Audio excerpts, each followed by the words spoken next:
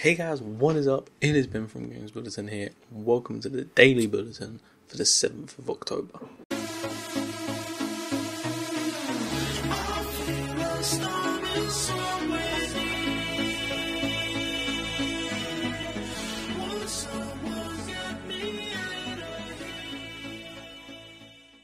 Okay, so we have some awesome stories for you guys.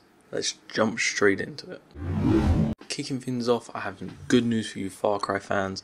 There is a new Far Cry game coming called Far Cry Primal. The game is going to see the series head to the Stone Age, where the game takes place in 10,000 BC, where creatures such as the mammoth and the saber-toothed tiger exist. The press release states that gamers play as Takkar, a seasoned hunter and the last surviving member of his hunting group. Press release states that players have one single goal to survive in a world where humans are prey. It goes on to say they will meet a cast of memorable characters who will help them push back and tame the dangers of the wild. Along the way, they will have to hunt for food, master fire, fend off fierce predators, craft weapons and tools partly from the bones of slain beasts, and face off against other tribes to conquer Oros. Far Cry Primal will release on the 23rd of February for Xbox One and PS4, and will come later on in March for PC. Now, honestly, I'll admit to you guys, I'm a bit dubious about this. To me, Far Cry 4 was just a reskin of Far Cry 3, to the point where if you put Vaas and Pagan Min side by side, you would think they were father and son. I understand that surviving in the wilderness is kind of like a theme of Far Cry, and I get that, but they really need to bring something else to the games. It gets really tedious for me because there's not much else to the games other than, you know, oh, you have to survive and you have to craft fins from animals that you kill and have to take over the land. I get that, but you need to bring something else to this game if you want the series to carry on and bloom the way that it has.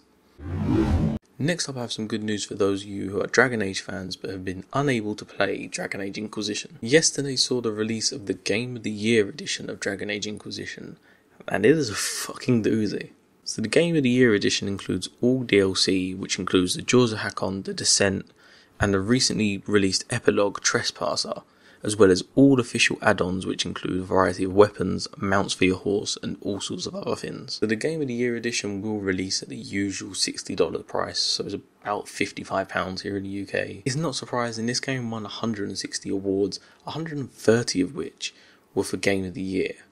So it is a big blockbuster game. And it's nice. I mean, I have the game, but I don't have any of the DLC, which I'm kind of pissed about because I heard the DLC is really fucking good. So I might have to buy this. If you have not yet bought it and you are a Dragon Age fan or some any kind of RPG fan at all, buy this game. I swear to you now, you will not regret it. If you have the time to put into this game, this game will deliver. And finally, to kick things off, some more news that I can get behind Metal Gear Online has officially launched, but only for console users, PC users. I am sorry, you will have to wait until January.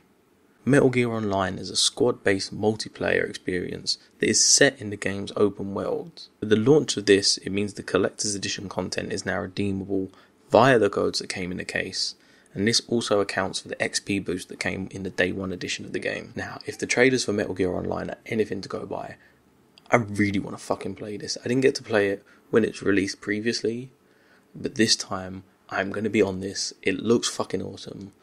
You guys know I love Metal Gear. Metal Gear is my fucking franchise, favorite franchise of all time, and I'm fucking stoked. I cannot wait to play this. I really can't. That wraps up today's daily bulletin. Hopefully, you guys have enjoyed it. If you have, don't forget to give the video a like. Do let me know, and I'll see some more of you guys tomorrow. See you later. People outside of are being so fucking noisy. This thing won 160 rewards. Rewards? Awards. Oh, awards. There is a big fucking difference. And about wraps up today's daily bulletin. Hopefully, without knocking the mic.